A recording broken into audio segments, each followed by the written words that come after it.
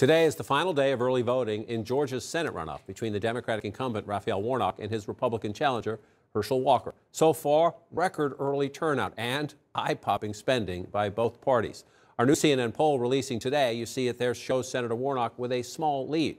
Democrats will control the Senate now, no matter who wins on Tuesday. But as both candidates get some high powered help in these final days, both sides publicly acknowledge having 51 Democrats instead of 50 makes a bigger difference than you might imagine. An extra senator gives Democrats more breathing room on important bills. It prevents one person from holding up everything. And it also puts us in a better position a couple years from now. If it's 50 50, the budgets are the same, uh, the number of committee people is the same. If it's 51 49, they have one more, one more vote on every committee than us. Uh, the bottom line, it really changes the structure of the Senate.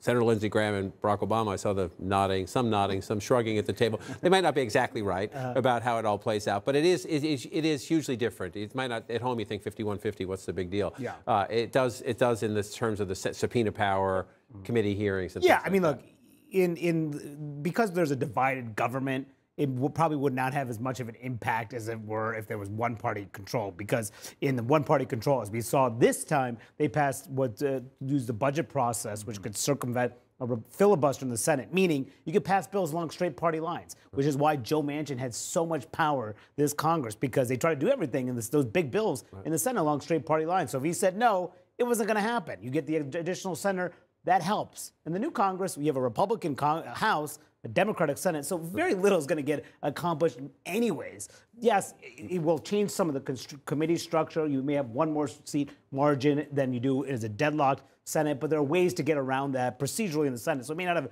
a, as huge of an impact as they're saying, but every Senate vote does count, especially as we get into future election cycles when they're going to be battling one or two seats to take the majority. An additional seat will be crucial. And before we get to that, every vote counts. And so it's encouraging, whether you're Democrat or Republican, to see this record early voting. You see the long lines where Eva was in Atlanta there, largely Democratic in Atlanta, but we've seen large early voting in other parts of the state as well, where you have more Republican voters. Here's our latest poll released just this morning 52% for the Democratic incumbent, 48% for the Republican challenger, Herschel Warnock. If you dig deep in it, this is interesting to me. Do you view these candidates as favorable or unfavorable? Senator Warnock who's the incumbent, 50% favorable, 45% unfavorable. Herschel Walker, you know, football hero, uh, University of Georgia, went on to play in the NFL and the USFL.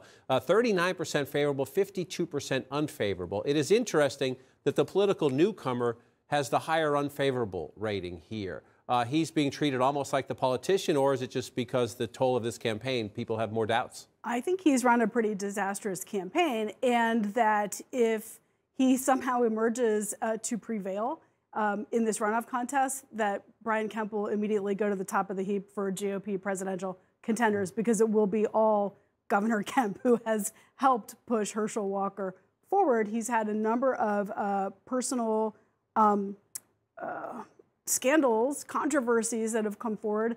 And uh, one of the most popular ads by um, Raphael Warnock's campaign right now is just voters watching Herschel Walker say goofy things on the stump um, that are kind of non sequiturs.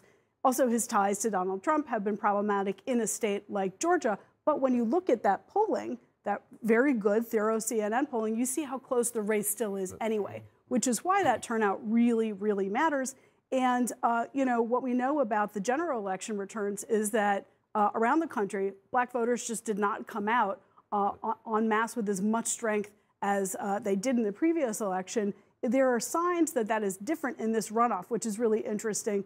Uh, talking about the youth voters, Max Frost, the incoming 25-year-old um, youngest ever member of Congress uh, from Florida, who is black and Hispanic, uh, is going to be uh, one of the um, kind of political celebrities brought out over the weekend to try to turn out the youth vote in Atlanta. And so let's look a little bit before you jump yeah. in. Just the contrast in the final seconds. Uh, Margaret made the point about the Warnock ads. That was part of Obama's mission, too, mm. that Herschel Walker is not serious. Listen. Since the last time I was here, Mr. Walker has been talking about issues that are of great importance to the people of Georgia. Like whether it's better to be a vampire or a werewolf In case you're wondering, by the way, Mr. Walker decided he wanted to be a werewolf, which is great. As far as I'm concerned, he can be anything he wants to be, except for a United States Senator. Obama trying to join the Democratic effort to say Walker's just not up to the job. He is not serious. Walker, in this, listen to this, this is yesterday, understanding 200,000 people voted for Governor Kemp's reelection, did not vote for him. He's trying to get Republicans who don't like Biden administration policies, but who also don't like him to come over. Here he is on vaccine mandates. 20,000, I want to tell you, is active duty warriors in the United States military that's being kicked out by Joe Biden and Raphael Warnock for not taking that COVID shot. Yeah, yes. And then 40,000 a National Guardsmen that's being cut out of their military benefit by Joe Biden and Raphael Warnock for not taking that COVID shot. Because I think that's immoral and I think it's treason.